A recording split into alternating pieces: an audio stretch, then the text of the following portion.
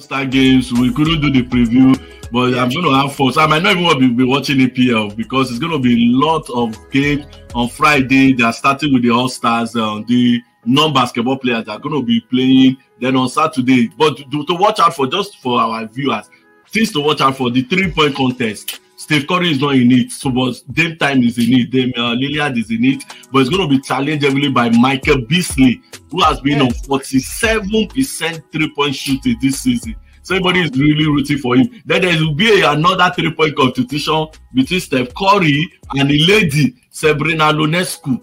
Mm. She plays for uh, California Light.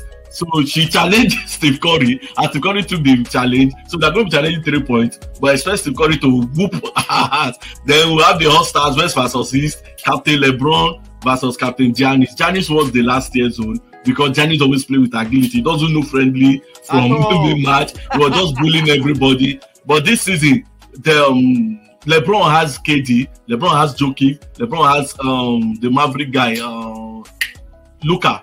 So and, and Anthony. Davis is fit now. So Anthony Davis is going to be playing for LeBron's team. So I'm expecting a strong man, but I think Giannis guys will win it because they have Embiid there. So they have Embiid, they have Dame, and they have um, mm. uh, Tyrese. So it's going to be interesting weekend for the basketball nations. We are all looking towards it, and they're going to raise a lot of money for charity. So that's very good of, for them.